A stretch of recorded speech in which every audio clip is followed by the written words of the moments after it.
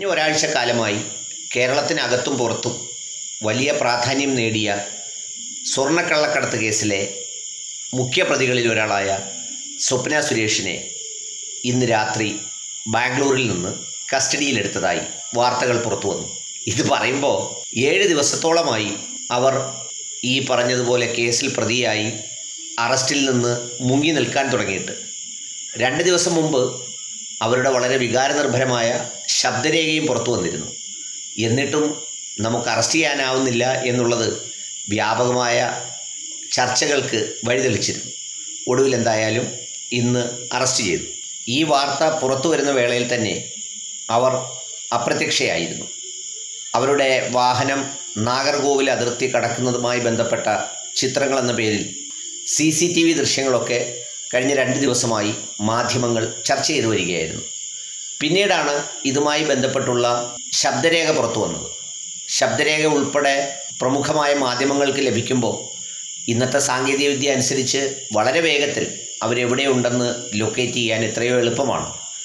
അതുകൊണ്ട് തന്നെ ഇന്ന് രാവിലെ മുതൽ തന്നെ എൻ ഐ എ ഈ കേസിൽ വളരെ ജാഗ്രതയോടെ പ്രവർത്തിക്കുകയും അവർ ഒട്ടേറെ വിവരങ്ങൾ ശേഖരിക്കുകയും എന്ന് മാത്രവുമല്ല മുൻകൂർ ജാമ്യാപേക്ഷ നൽകിയപ്പോൾ ഇത് യു എ പിയുടെ പരിധിയിൽ വരുന്ന വകുപ്പുകളുമായി ബന്ധപ്പെട്ട് കേസെടുത്തിട്ടുള്ളതിനാൽ ജാമ്യാപേക്ഷ കോടതിക്ക് പോലും പരിഗണിക്കാൻ കഴിയാത്ത രീതിയിലേക്ക് എത്തുകയും ഒക്കെ ചെയ്ത സാഹചര്യത്തിൽ ഇനി കീഴടങ്ങുകയല്ലാതെ മറ്റൊരു പോംവഴിയും സ്വപ്നയ്ക്ക് മുമ്പിൽ ഉണ്ടായിരുന്നില്ല. കേവലമായ ഒരു കള്ളക്കടത്തിനപ്പുറത്ത് ഇന്നിതിന് വലിയ രാഷ്ട്രീയ പ്രാധാന്യം ഉണ്ടായിക്കൊണ്ടിരിക്കുന്ന സാഹചര്യത്തിൽ ഇവരുടെ അറസ്റ്റ് ഏറ്റവും നിർണായകമായ ഒന്നായിരുന്നു.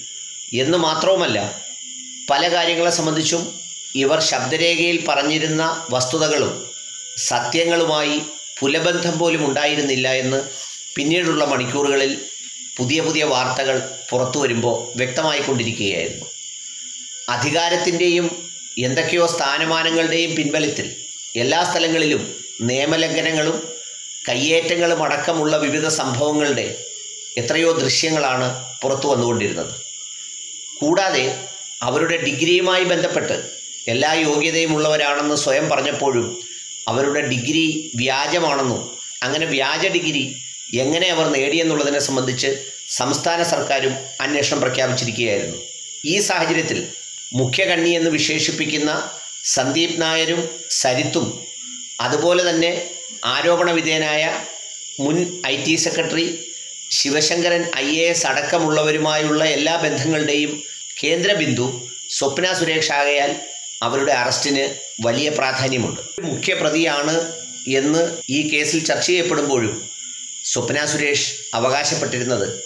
അവർ കോൺസുലേറ്റ് ജനറലിന്റെ നിർദ്ദേശപ്രകാരം മാത്രം ബന്ധപ്പെട്ടതാണെന്നും അവർ കള്ളക്കടത്തിൽ നിരപരാധിയാണെന്നും അവർക്കൊന്നും അറിഞ്ഞുകൂടാ എന്നുമായിരുന്നു അവരുടെ നിലപാട്.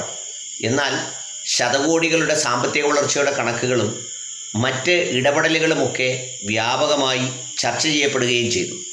ഒരു വ്യാജ ഡിഗ്രി സ്വന്തമായുള്ള ഒരാൾ ഇത്രയും വലിയ പദവികളിലേക്ക് കടന്നുകൂടിയതിന് ലഭിച്ച പിന്തുണയും അതോടൊപ്പം തന്നെ ഇത്രയും വിദഗ്ധമായ രീതിയിൽ ഈ കേസന്വേഷണത്തിൽ കസ്റ്റംസ് പറയുന്നത് സത്യമാണെങ്കിൽ എട്ടോ ഒമ്പതോ തവണ എയർ കാർഗോയായും പിന്നീട് കപ്പലിലൂടെയും ഗ്രീൻ ചാനലിലൂടെയും ഒക്കെ സ്വർണക്കടത്തിന് നേതൃത്വം കൊടുക്കാൻ കഴിഞ്ഞു എന്ന് പറയുന്ന അതിന്റെ ആസൂത്രണ ഭാവം വളരെ ഗൗരവമുള്ളതാണ്.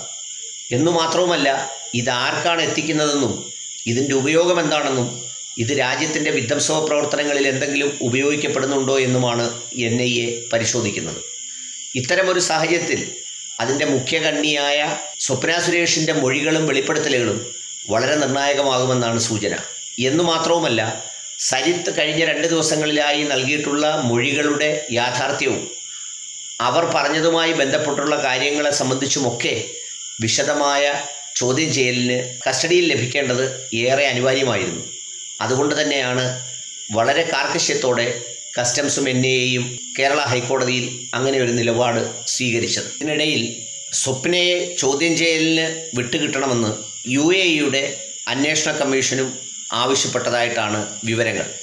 കാരണം യു എ ഇ കോൺസുലേറ്റിൽ ജോലി ചെയ്തതുകൊണ്ട് അവിടെ ഇതിന് പിന്നിൽ ആരൊക്കെ പ്രവർത്തിച്ചു വന്നു അതിന്റെ ബന്ധങ്ങളെ സംബന്ധിച്ചും സ്വപ്ന സുരേഷിന്റെ മൊഴി നിർണായകമാണ്. ഏതായാലും പതിനഞ്ച് കോടിയോളം രൂപ വരുന്ന സ്വർണക്കള്ളക്കടത്തിന് ഇന്ന് ദേശീയ സുരക്ഷയുടെയും അതോടൊപ്പം തന്നെ സംസ്ഥാന രാഷ്ട്രീയത്തിന്റെയും ഒക്കെ ആരോപണ പ്രത്യാരോപണങ്ങൾ നിറഞ്ഞു നിൽക്കുന്ന സാഹചര്യത്തിൽ ഇവർ പറയുന്ന മൊഴികളുടെ വിശ്വാസ്യതകൾ ഏറെ ഇനിയും ചർച്ച ചെയ്യപ്പെടുമെന്നുള്ളതാണ് പ്രധാനപ്പെട്ട വിഷയം. അതോടൊപ്പം തന്നെ ഇവരുടെ അധികാര പ്രതാപത്തിൽ പലതരത്തിൽ പീഡിപ്പിക്കപ്പെട്ട നിരവധി പേരുടെ വിഷയങ്ങളും ചർച്ചയാകപ്പെടുമെന്ന് ചൂണ്ടിക്കാണിക്കപ്പെടുന്നു. സ്വന്തം സഹോദരനും ബന്ധുക്കളും സഹപ്രവർത്തകരും അടക്കമുള്ളവർ ഇവരിൽ നിന്ന് ഏൽക്കേണ്ടി വന്ന പീഡനങ്ങളുടെ കഥകൾ കഴിഞ്ഞ കുറേ ദിവസങ്ങളായി മാധ്യമങ്ങൾ ചർച്ച ചെയ്യുകയാണ്. എയർ ഇന്ത്യയിലെ ഒരു ഉദ്യോഗസ്ഥനെ കെട്ടിച്ചമച്ച ആരോപണത്തിന്റെ പേരിൽ ഒട്ടേറെ പീഡനങ്ങൾ അനുഭവിക്കേണ്ടി വന്നത് അദ്ദേഹത്തിന്റെ ഭാര്യ മാധ്യമങ്ങളുമായി പങ്കുവച്ചിരുന്നു. ചുരുക്കത്തിൽ പ്രശസ്തിയുടെയും സമ്പത്തിന്റെയും ഒക്കെ ഉയരങ്ങളിൽ നിന്ന് കസ്റ്റഡിയിലേക്കും ലോക്കപ്പിലേക്കും എൻ ഐ എ കോടതി വരാന്തകളിലേക്കും മാറുമ്പോൾ ഈ പറഞ്ഞതുപോലെ ഇരുണ്ട ഇടനാഴികളിൽ സഞ്ചരിച്ചിരുന്ന ഇനിയുള്ള ദിവസങ്ങളിൽ ഈ പറഞ്ഞതുപോലെ എൻ ഐ എയുടെ കസ്റ്റഡിയിലും ചോദ്യം ചെയ്യലുകളും ലോക്കപ്പിലുമൊക്കെയായി കഴിഞ്ഞുകൂടേണ്ടി വരും. ഏതായാലും ഇനി ഇതിൽ കൂടുതൽ ദിവസം ഇവരെ കസ്റ്റഡിയിലെടുക്കാൻ കഴിയുന്നില്ലെങ്കിൽ അത് അന്വേഷണ ഏജൻസികൾക്ക് തന്നെ ഒരു അപമാനകരമാകുമായിരുന്നു എന്തായാലും ഈ രാത്രി മുതൽ സ്വപ്ന സുരേഷിനെ തേടിയ മലയാളികൾക്ക് ഇനി സ്വപ്നങ്ങൾ കണ്ട് ഉറങ്ങാം. സ്വപ്നയ്ക്ക് ഒരുപാട് ദുസ്വപ്നങ്ങളോടെ ഇനി ഏറെ സഞ്ചരിക്കേണ്ടിയും വരും. മറ്റൊരു വിചിത്രമായ ചോദ്യവും ഉയരുന്നുണ്ട്. അതാണ് രസകരം. അതായത് ഈ ട്രിപ്പിൾ ലോക്ക്ഡൗൺ കാലത്ത് സാധാരണ ആൾക്കാർ പോലും സഞ്ചരിക്കണമെങ്കിൽ സംസ്ഥാനാതിർത്തി കടന്നു പോകണമെങ്കിൽ പലതരം പാസ് വേണമെന്നിരിക്കെ. ഇവരെങ്ങനെ ഈ ബാംഗ്ലൂരിലെത്തി? അതും ഒരു സംശയമാണ്. ഏതായാലും സംഗതി ഗംഭീരം.